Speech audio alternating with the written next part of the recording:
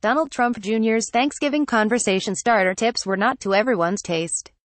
On Wednesday night, the son of President Donald Trump used Twitter to list six economy-themed talking points for people to chew over with friends and family during the holiday meal but the tweet, in which Trump Jr. appeared to be crediting his father for America's economy, didn't provoke the kind of response that he was likely expecting.